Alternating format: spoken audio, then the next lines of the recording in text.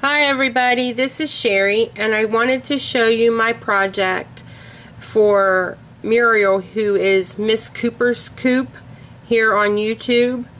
If you were the first five people to respond to a post she made with a birthday countdown calendar, she sent you one of these IKEA frames for you to alter in some way as a countdown calendar, whether it be for birthdays, which is what hers was for. And I originally decided I was going to do a Christmas one. And I got working on it and I was having so much fun. I thought, wouldn't this be great if she could do this for other holidays? So the snowflakes that you see here are hooked on with a magnetic strip and all she'll have to do is take them off and I lined them up. So what you see on the front is also on the back. And I lined um, made it so when I put the other pages on the back which I'll show you these these are the other pages. They're identical to the ones on the front. They're all they've all got different little images. You know I'm not going to show you every one of them but this one has snowmen at the top we've got bells We've got a little teddy bear sled riding down the four. Um, a little gingerbread house. A little girl, a little elf, a wreath. And then it ends the last day with Santa. And so on the, she teaches two classes. So on the front will be for her morning class. And then the back will be for the afternoon class. I turned it in to essentially like a post-it note by using my um, removable adhesive.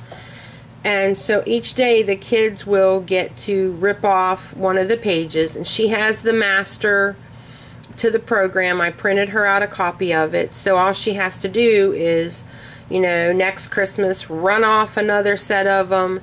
It takes just a couple minutes to cut them out on the printer and she's ready for another Christmas countdown calendar but we I got to doing it and I thought wouldn't it be neat if she could do this for other holidays?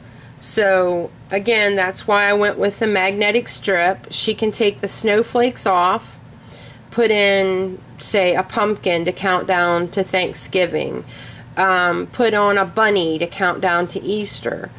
And the paper slides right out. She can change it out. It's just cut into a 4 by 6 size and uh, so she won't have any trouble you know changing it. And then when she's ready um, I'll just whip up another set of numbers on my program. And this program I have oh my golly I bought it when I got my very first computer. And it's a print artist program um, which I paid like $10 for when I, when it when I bought it. So I mean it's old, but that thing works amazing. And so when she's ready to do Easter, I'll whip up a set of numbers, put the paper in the mail to her, and she just cuts them out, and she's ready for Easter or Thanksgiving or you know whatever holiday she wants you know Valentine's but I was so excited with and I love Christmas so I went with my original idea which was to do Christmas.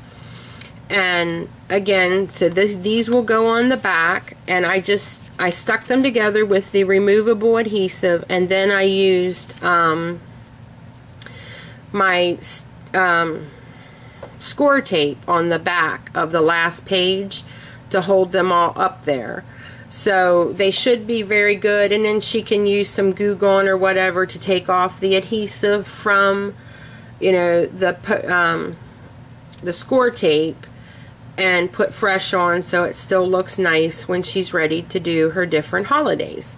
So Muriel, I hope you like this. I hope you like my idea.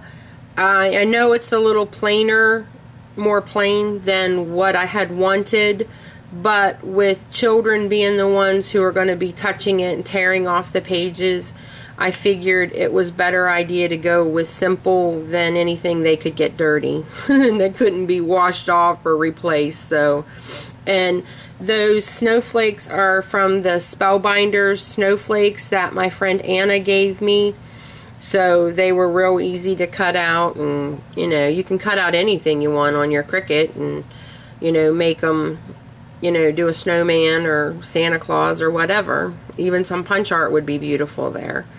So, but I just went with snowflakes because it has um, snowflakes on the paper. So I hope you all like it. Let me know what you think. Thanks for visiting me today, guys, and happy crafting. Bye.